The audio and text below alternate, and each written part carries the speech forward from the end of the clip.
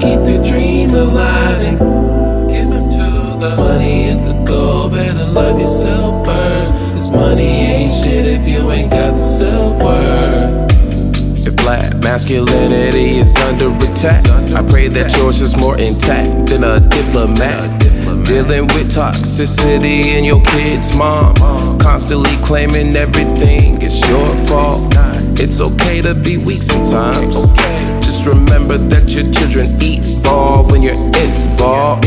You don't always get the credit you deserve. I pray you're being great, getting better, and unlearn the negative self talk. I pray you get your turn. I pray you get your time and you realize money ain't all that you provide. We're providers, it's not just meals and paid bills. We provide life skills, opportunity to grow, discipline, self sufficiency. We provide the first model of dignity. Yo, don't let them tell that lie. The measure of a man is not by a dollar sign, so Keep your dream up, give it to the. Keep your dream alive money is the goal. Better love yourself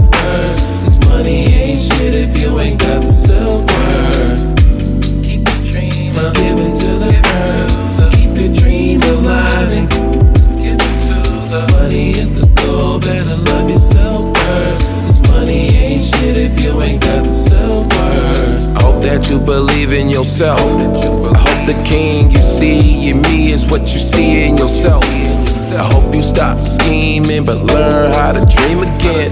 Grew up so fast, forgot how to be a kid. Yeah, yeah, cause when it comes to dreams, the first thing we think is Martin Luther King. And just to be clear, you ain't gotta call me king. Call me Pharaoh, it means the same thing. And when you think Pharaoh, think about she. We're equal in our power, so it means the same thing. And this is just one way that history repeats like a metronome. Study the rhythm of my rhyme, it's inevitable. Black people will reawaken.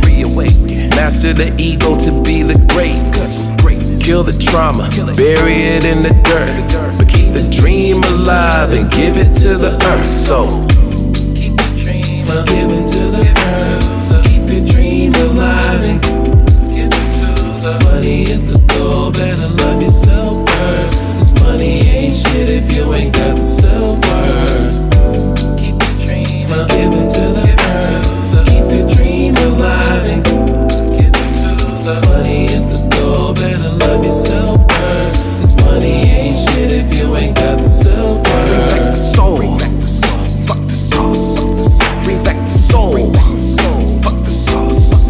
Bring back your soul. I know you're lost. I know you're lost. Money is a very useful method of accounting. It is a measure of wealth in the same way as inches are measures of length and grams measures of weight. You cannot eat money. Have a fantastic quantity of dollar bills and uh, stock certificates on a desert island. They would be useless to you. What you would need would be food and uh, animals and companions. Money simply represents wealth in rather the same way that the menu represents the dinner. We are psychologically perverted in such a way that we would, some of us would rather have money than real wealth. But the truth of the matter is, it all begins here. This is where the creation begins. And you're doing it and won't admit it. Because, of course, you're all God in disguise. Jesus found that out and they crucified him for saying so. So, this is a very odd thing for Westerners to understand, and particularly for Americans. Because we are so fixated on the future. When we say we want to put something down, we say it has no future.